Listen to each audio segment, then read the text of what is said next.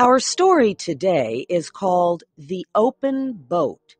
It was written by Stephen Crane and is based on what really happened to him in 1896.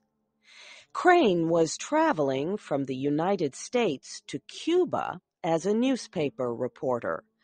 One night, his ship hit a sandbar. It sank in the Atlantic Ocean off the coast of Florida. Most of the people on board got into lifeboats. Crane was among the last to leave. There were three others with him the ship's captain, the cook, and a sailor. These four men climbed into the only remaining lifeboat. The boat was so small that no one believed it could stay afloat for very long. None of the four men thought he would ever reach the shore. But the men fought the rough seas bravely with all their strength. Would they finally reach land? Here is Shep O'Neal with the first part of the story. The small lifeboat bounced from wave to wave in the rough seas of the Atlantic. The four men in the boat could not see the sky. The waves rose too high.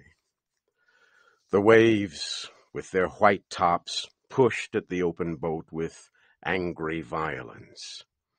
Every man thought each wave would be his last.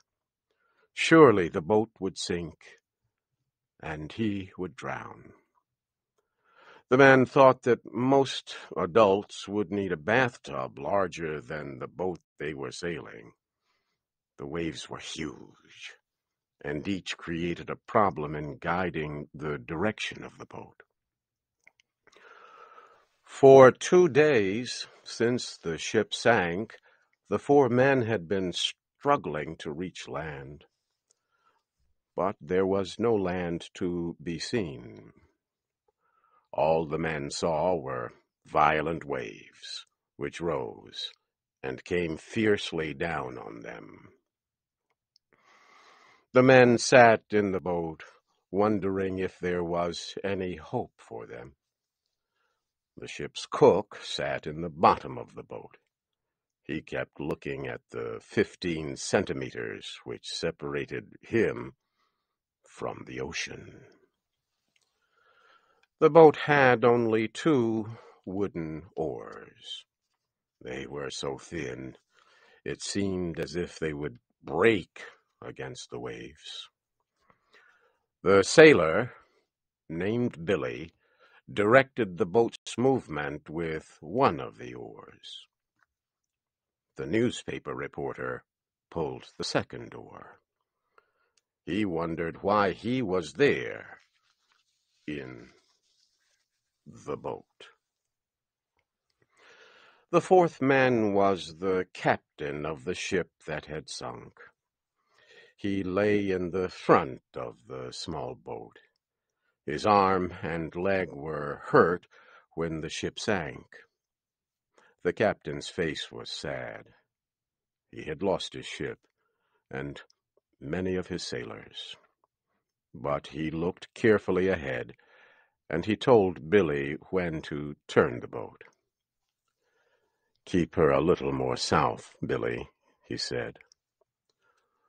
A little more south, sir, the sailor repeated. Sitting in the boat was like sitting on a wild horse. As each wave came, the boat rose and fell, like a horse starting toward a fence too high to jump. The problem was that after successfully floating over one wave, you find that there is another one behind it just as strong and ready to flood your boat. As each wall of water came in, it hid everything else that the men could see. The waves came in silence, only their white tops made threatening noises. In the weak light, the faces of the men must have looked gray their eyes must have shone in strange ways as they looked out at the sea. The sun rose slowly into the sky. The men knew it was the middle of the day because the color of the sea changed from slate gray to emerald green with gold lights, and the white foam on the waves looked like falling snow.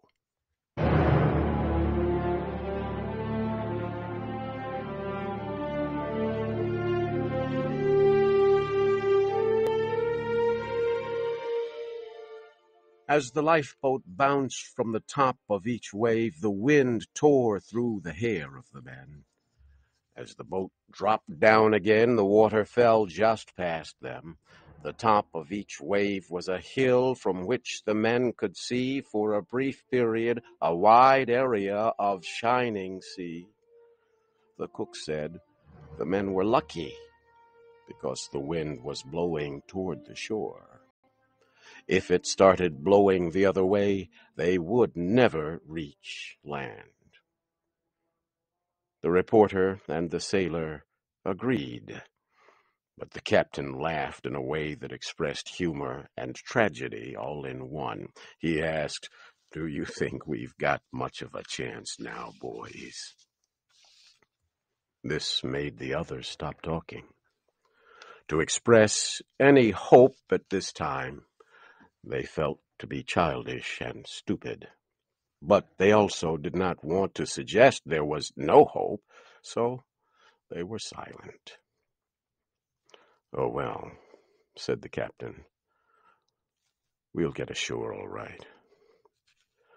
But there was something in his voice that made them think, as the sailor said, Yes, if this wind holds. Seagulls flew near and far. Sometimes the birds sat down on the sea in groups near brown seaweed that rolled on the waves. The anger of the sea was no more to them than it was to a group of chickens a thousand miles away on land.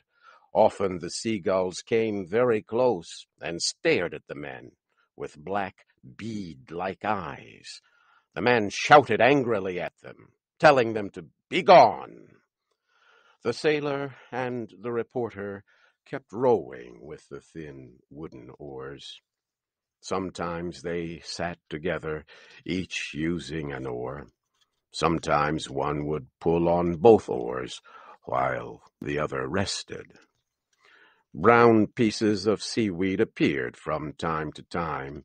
They were like islands bits of earth that did not move. They showed the men in the boat that it was slowly making progress toward land.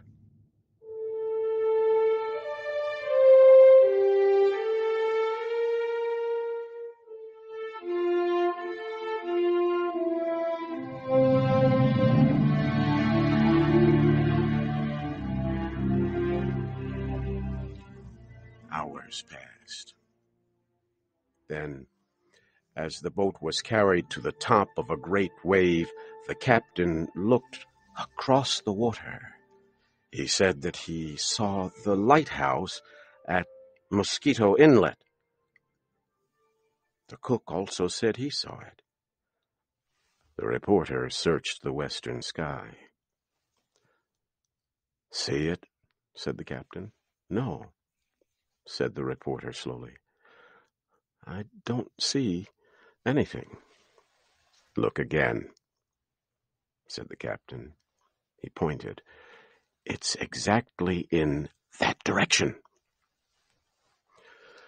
This time the reporter saw a small thing on the edge of the moving horizon.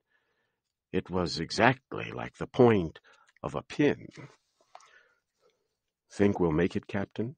he asked. If this wind holds and the boat doesn't flood, we can't do much else, said the captain.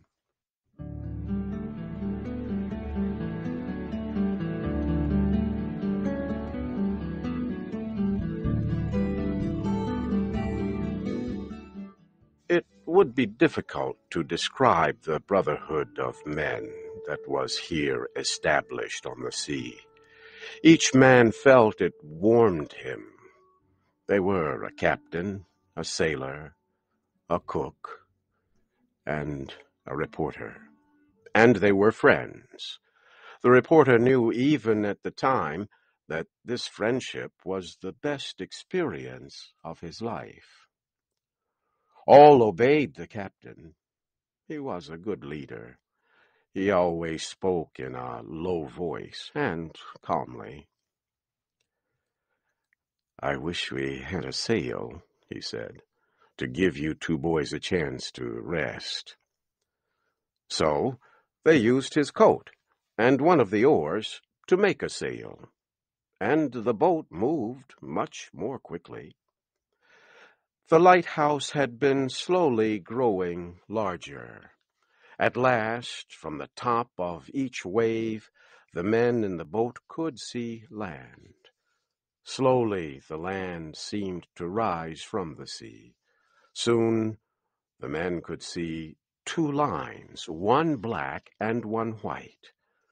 They knew that the black line was formed by trees, and the white line was the sand.